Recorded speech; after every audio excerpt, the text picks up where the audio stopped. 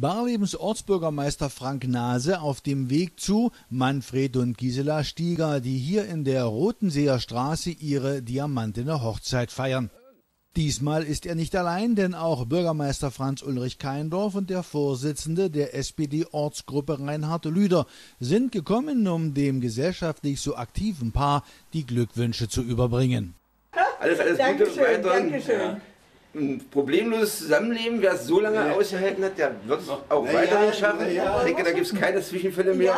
Ich habe was mitgebracht. Wir haben ja vieles dabei, aber das ist oh, mir für den Mann das was Schwieriges. Ja. Das alles, schön, danke. Ja. Ja. Auch dir. Das ist, äh Manfred Stieger, gelernter Maurer, hat Bauingenieur studiert und sein ganzes Leben lang bei unterschiedlichen Arbeitgebern und nach der Wende auch selbstständig als Baufachmann gearbeitet.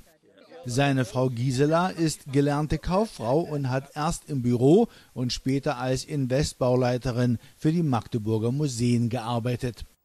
Die beiden haben drei Söhne, fünf Enkel und zwei Urenkel.